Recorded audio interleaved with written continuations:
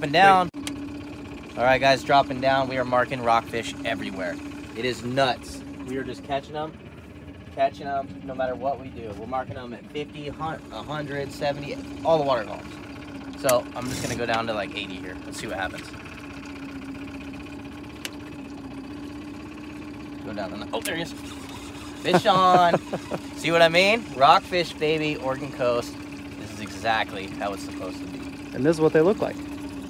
Check this out, boys and girls. Let's see what we. Ooh, ooh. Ooh, a, oh, he popped it.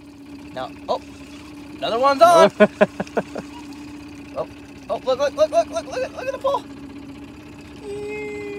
Ew, there he is. Load it up. Oh, ling. That might be a ling. That might be a ling. Oh, this might be a ling, boys. He's heavy. Oh. Let's see. Let's see.